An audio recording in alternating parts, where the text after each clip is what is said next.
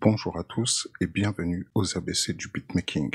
La vidéo d'aujourd'hui va être un peu spéciale puisqu'on va voir différents éléments de Studio One Pro qui vont vous permettre d'avancer plus facilement au niveau du workflow. Si vous découvrez la chaîne avec cette vidéo, pensez à vous abonner, à liker, partager un maximum sur les réseaux sociaux. N'hésitez pas à sélectionner la cloche pour avoir les notifications des différentes sorties de vidéos. Et si vous souhaitez soutenir la chaîne, vous trouverez des liens affiliés directement dans la description vers Plugin Boutique, vers Waves, vers différents éditeurs de VST. Et si vous souhaitez m'offrir un petit café ou un petit tips pour le travail accompli, il y a aussi un lien PayPal. Donc comme je vous l'ai dit dans l'intro, aujourd'hui on va plus se faire une petite vidéo workflow où on va voir différents détails qui peuvent vous aider à avancer plus facilement dans Studio One. La première chose, déjà, c'est que j'ai repris le morceau qu'on avait commencé à créer. Je l'ai un petit peu avancé en rajoutant un instrument E-Top 3 avec des espèces de violons que j'ai euh, et j'ai utilisé le sampler de chez Wave, le CR8, pour pouvoir faire des vocal chops. Si on écoute le morceau dans son ensemble avec ces deux ajouts, ça va nous donner ceci. C'est pour faire varier un peu le morceau.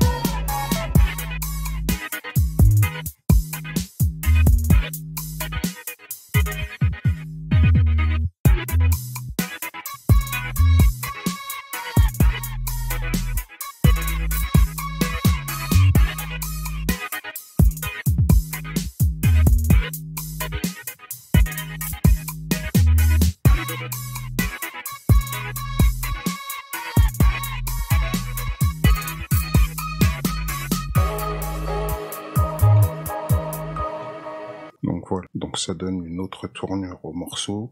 Ça nous fait une deuxième partie de séquence un peu différente. Les vocal chops, ça rajoute un petit plus.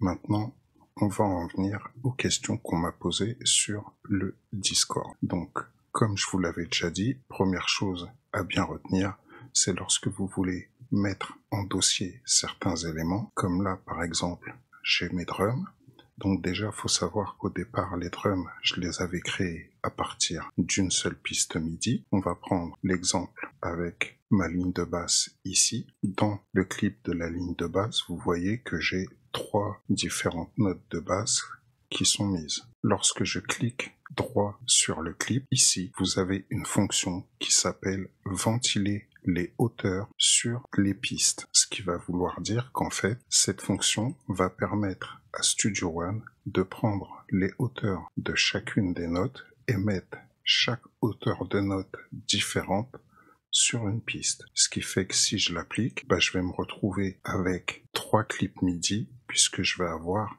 trois hauteurs de notes différentes. Hop, une, deux, Et pourtant, ça va me donner exactement la même chose.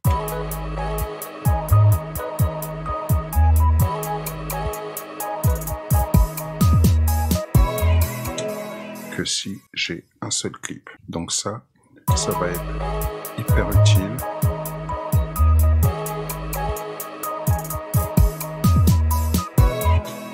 Vous voyez, pour pouvoir créer vos patterns de drum. Comme là, vous avez pu le remarquer, j'ai fait une sorte de petite intro.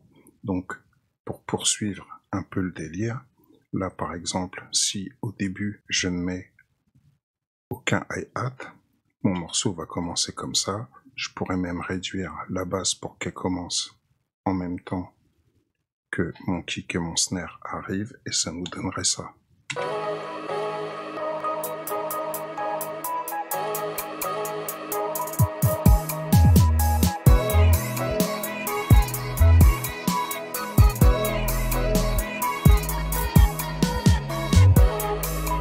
Là, le break, je l'ai fait pareil en utilisant les clips et en les agrandissant ou en les réduisant, ce qui me permet de pouvoir créer mes séquences avec mes drums très simplement. Donc là, par exemple, si je vais sur la fin, je pourrais très bien, hop, réduire mon kick ici. Ce hi-hat là, je le réduis un peu. Celui-ci, je le laisse tel quel. L'open hat, je vais le réduire ici. Mes percs, je vais les réduire là. Et ça, je vais le mettre de la même longueur que les kicks, ce qui fait que quand j'arriverai en fin de séquence, ça va me donner ceci.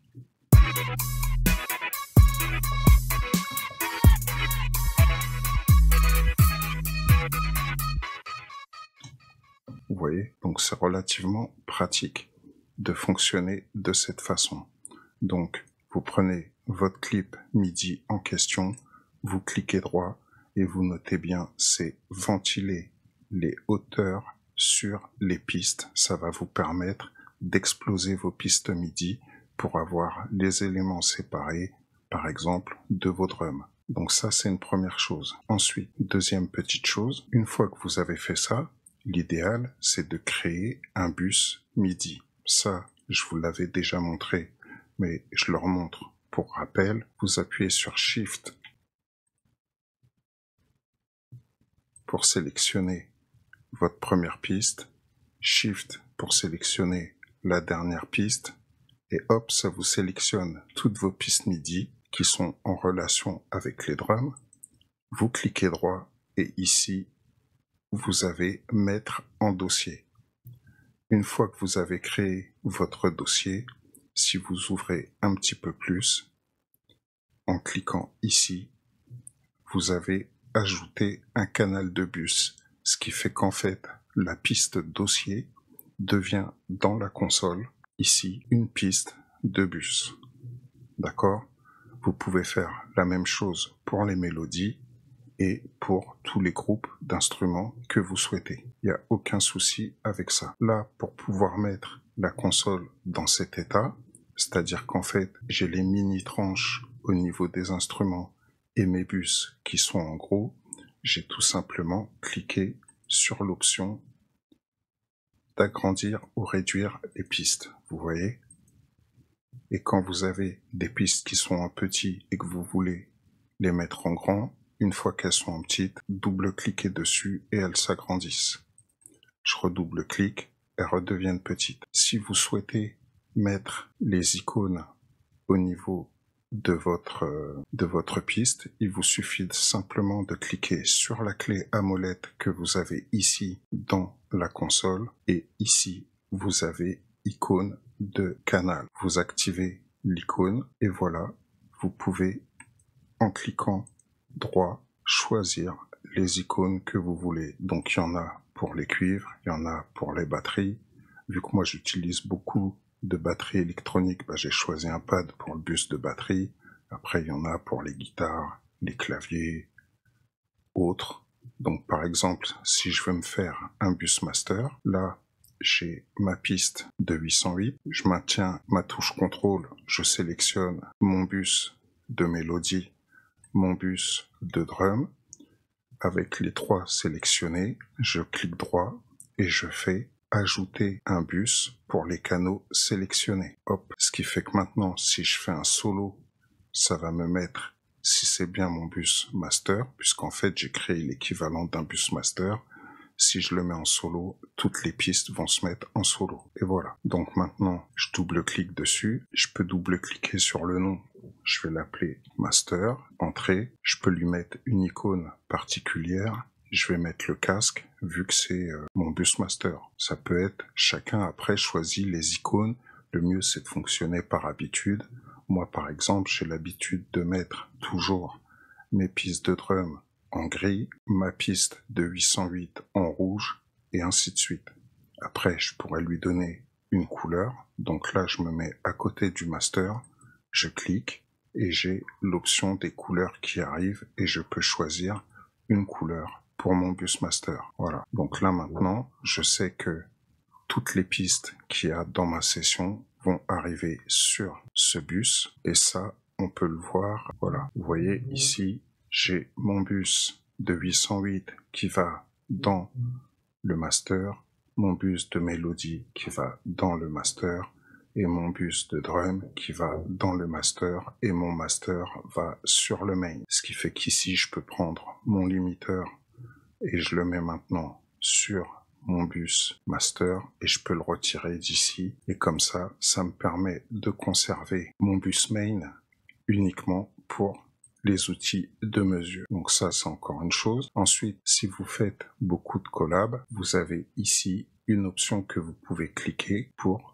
pouvoir mettre des mémos. Si vous voulez mettre des notes à la personne avec qui vous collaborez, vous pouvez écrire directement dans la console les notes que vous souhaitez. Après, c'est pas une obligation. Autre petite chose importante, si vous voulez avoir les options de gain staging pour avoir les commandes d'entrée de chacune des pistes, ici, vous avez commande d'entrée, ce qui vous permet d'avoir le gain de chaque piste et de pouvoir gérer le gain du son qui sort de l'instrument. Donc vous pouvez régler le volume de l'instrument pendant que vous composez et après vous affinez avec les commandes de gain staging pour avoir vraiment le volume souhaité et ce qui vous permet de conserver vos faders pour pouvoir faire vos automations.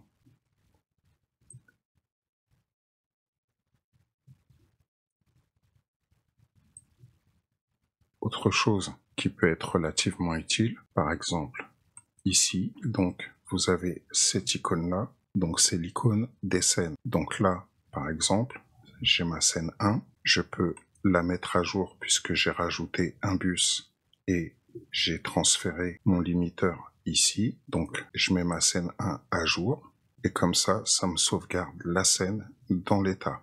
Faut savoir que ça va aussi sauvegarder les mouvements de fader et tout. Donc si vous faites un mix avec des automations, les scènes vont aussi conserver les automations. Là, ce que je vais faire, je vais recréer une autre scène. Donc pour ça, j'appuie sur le plus ici. Ça me fait une scène 2. Sur ma scène 2, je peux retirer tous les effets que j'ai mis, par exemple. Donc là, je vais retirer ça. Je retire le splitter, je retire tout ça, hop, je peux retirer mes transient shaper, l'analogue délai, admettons. Maintenant, je fais une mise à jour de la scène 2 et ça me sauvegarde en fait l'état de la console. Donc là, j'ai ma console qui est vierge. Si on écoute le morceau, ça donne ceci.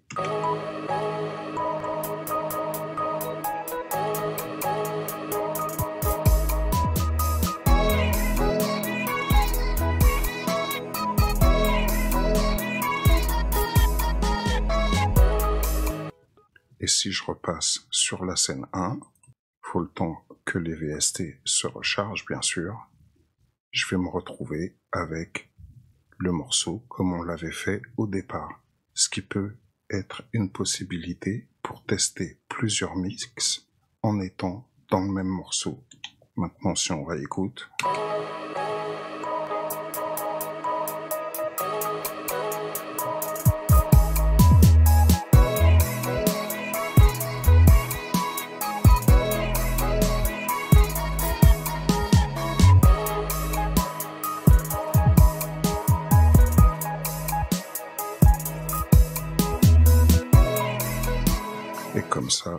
Vous pouvez en essayer plusieurs pour pouvoir faire plusieurs mix différents. Donc là, en repartant sur ma scène 2 qui est vierge, je peux essayer d'autres effets pour voir ce que donnerait le mix avec d'autres types d'effets. Et si au final le mix de la scène 1 me plaît plus, je peux toujours revenir sur le mix de la scène 1, ça va me recharger mes VST et c'est reparti. Donc ça, c'est encore une chose qui est relativement utile et qui peut vous servir énormément. Donc on a vu les commandes de gain, on a vu les icônes de tranche. Si on retourne ici, on a vu pour pouvoir faire les pistes séparées, Maintenant, admettons que j'ai envie de créer un clip. Donc, je vais venir ici, je vais mettre, je vais mettre sur la piste de mon hit-up 3, je vais enlever l'effet de gate du hit-up que j'ai mis ici, ce qui va fonctionner avec le séquenceur, mais comme ça on a le son du violon. Voilà. Je peux créer un clip, je double-clique dans mon clip et comme vous voyez ici, tout est neuf. Il n'y a pas de note. Là, vous avez l'outil de gamme. Donc en sachant que ma gamme était en G dièse mineur, ici j'ai coché l'outil de gamme, ce qui fait que maintenant, en maintenant la touche Alt, je peux me mettre sur les notes qui font partie de ma gamme, donc partout où il y a les traits je maintiens la touche Alt appuyée et ça me crée un accord. Bien sûr, cet accord, je peux l'agrandir si j'en ai envie.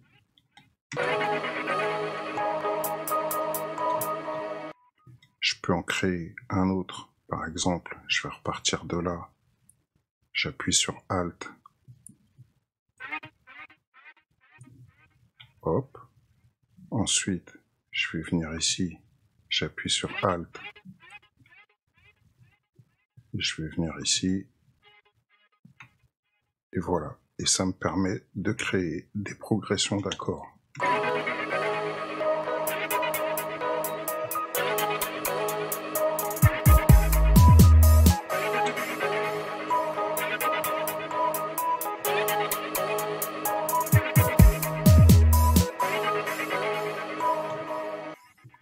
Vous voyez? Très simplement. Donc pour ça, faut bien que dans l'éditeur ici dans la partie euh, information, vous ayez coché la case avec la gamme, vous lui donnez la route note pour moi qui était en G dièse et ensuite vous avez le choix entre chromatique, majeur, mineur mélodique, mineur naturel, majeur pentatonique, etc. Et en bas, vous avez triade majeure, triade mineure. Ça va vous créer des, euh, des accords tout simples en mode... euh, donc là, je rappuie sur Alt. Par exemple, si je veux en rajouter ici, là, je peux me mettre là, en mettre là.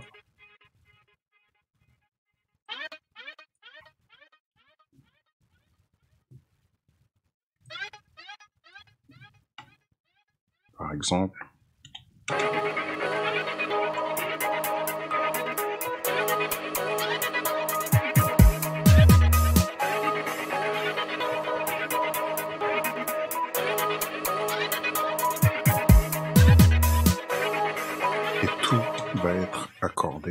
Directement à l'ensemble de mon morceau. Et ça en quelques secondes. Donc c'est autre chose à voir.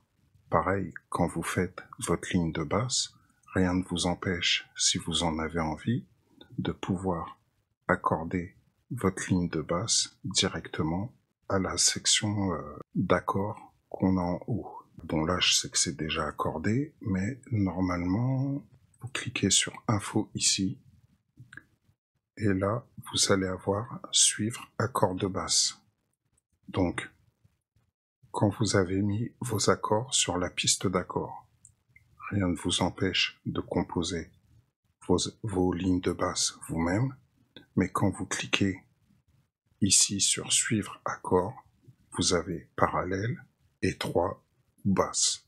Bah, par exemple, la basse, vous cliquez dessus, et s'il y a des notes qui sont pas bonnes dans ce que vous avez composé, ça va vous les changer automatiquement pour les mettre en relation avec les accords que vous avez dans la piste d'accords. Donc ça, c'est hyper utile aussi. C'est un gros plus. Autre petite chose et autre conseil que je vous donnerai, quand vous cliquez sur un clip, que ça soit audio ou MIDI, c'est de bien lire les menus que vous avez ici. Il y a énormément de fonctions.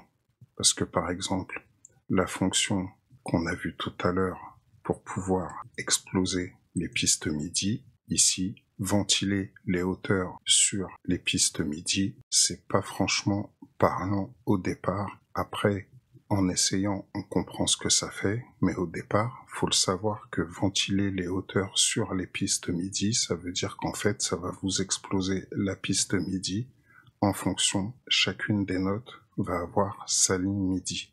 Donc une fois que vous avez pris le temps de bien lire tout ce qu'il y a au niveau des menus, vous commencerez vraiment à vous en sortir. Et en même temps, ça vous donnera des possibilités pour pouvoir créer. Ici, vous avez l'icône des macros. Ce sont des fonctions où vous pouvez rajouter direct des raccourcis pour aller beaucoup plus vite. Comme là, euh, au lieu de mettre ventiler les hauteurs sur les pistes, j'ai créé un bouton qui fait exploser piste. Donc là, si je me mets directement sur mon clip MIDI ici, je fais exploser piste et bam, j'ai toutes mes notes sur des pistes séparées, tout simplement. C'est beaucoup plus facile.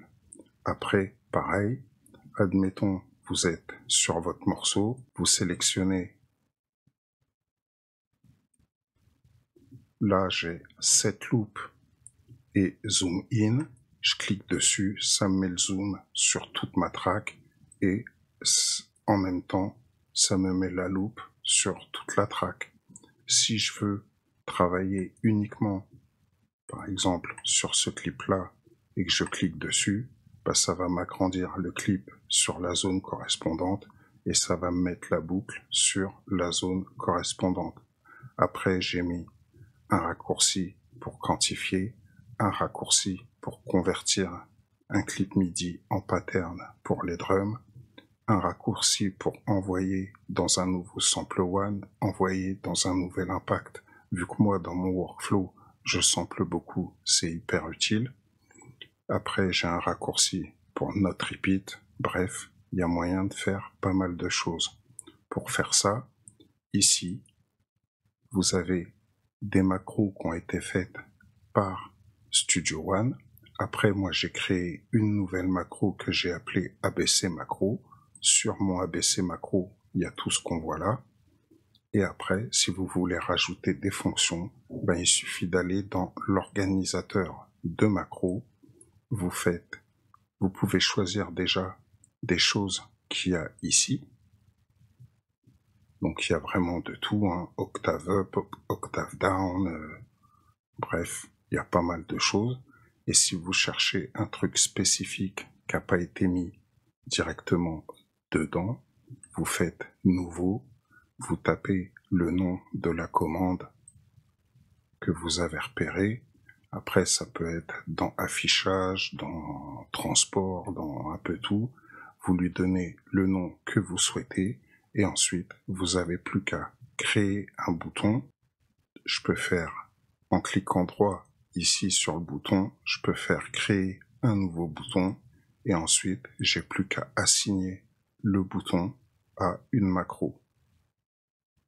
Donc soit à une nouvelle macro, soit à une macro que j'ai déjà créée. Par exemple là, si je veux faire une macro qui m'emmène direct sur la console, j'ai juste à cliquer ici et j'ai ma console, vous voyez Donc là, j'ai fait une macro Note Repeat. Si j'appuie sur Note Repeat et que je suis sur une piste de drum, j'ai mon Note Repeat qui se met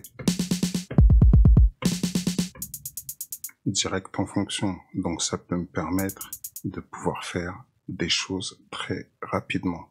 Après, j'ai choisi mes fonctions en fonction de ce que j'utilise moi, mais rien n'empêche après pour vous de personnaliser les fonctions dont vous avez besoin et vous pouvez en créer plusieurs, faire différentes pages comme Presonus a fait différentes pages pour l'audio editing, editing musique, création de musique, explorer les macros, euh, podcast. Euh.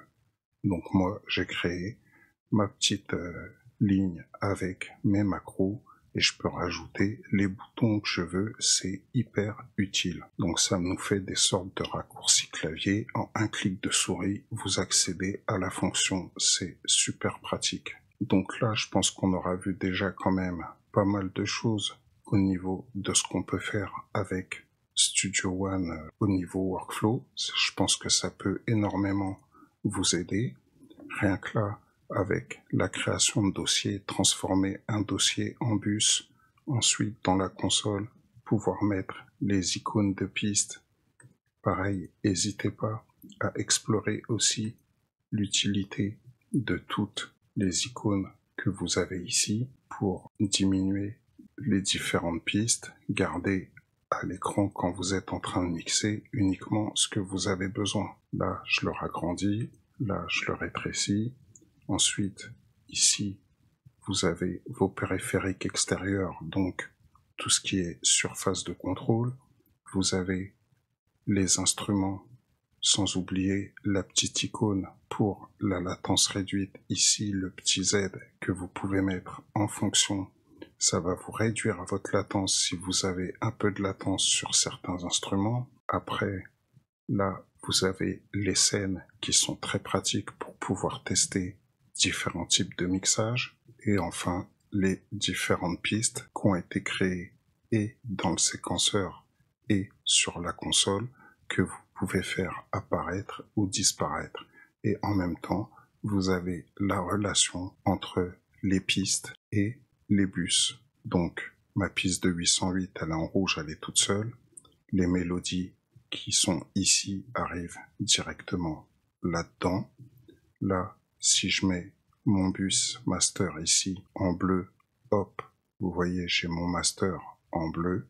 Et ce qui arrive dans le bus master, ça va être ma 808, ici, le bus de mélodie le bus de drum qui vont arriver directement dans mon bus master. J'ai directement mon limiteur à l'intérieur, comme je l'avais fait tout à l'heure. Bref, vous voyez ce que je veux dire, vous pouvez tout créer.